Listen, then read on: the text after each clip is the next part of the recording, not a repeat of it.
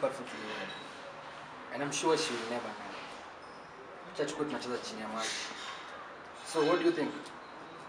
You need my decision. Bye.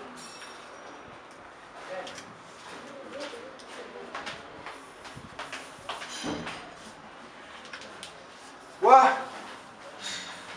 Okay. But there's, there's no way that I'm gonna let her go. No. No way, sir.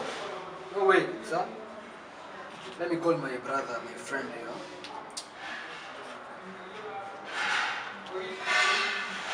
Oh, yeah,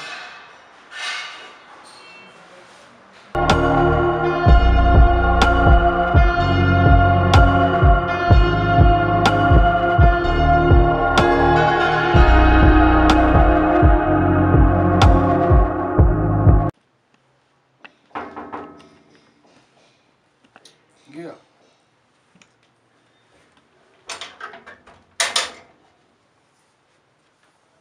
Hey bro, ni aje? Hey, mbona umekaa chini? Dot ni nyumba imechomeka. Hiyo simu jo. Lakini chapie niko hapa. So imagine after kumkrashia for three good years ameniambia anapenda manzi yake. What? Nani huyo? Kwani ulikuwa na crashia ndume ama ni aje? Zi. nasema Prita. Prita huyu mmoja. Ati she has a wife. That's crazy. Yeah, very crazy bro. But ni real. Yaani timu kulambana. Wa. Na vile anajifanyanga muhuri. Sasa utadu nini? But sidhani kuna kitu na- unaweza fanya kuchange hand decision. Yaani bro, after kukupigia simu kuja hapa so that we can figure out a possible move on Prita. Wetu ni kuniambia nothing I can do.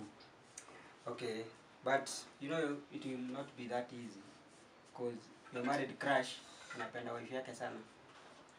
Yeah, but yeye hupenda kunivisit sana. So few romance next time and I see the reaction. Ama Yeah, sounds like a good idea. You should plan a couple's night, invite her alone, and make sure that party is not.